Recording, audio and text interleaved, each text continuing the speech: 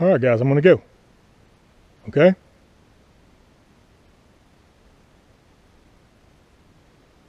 I don't mean any harm.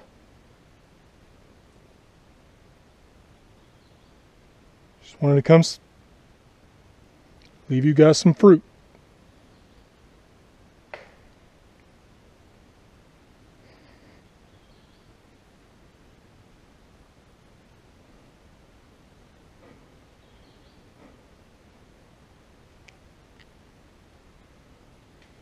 All right, I'm to go.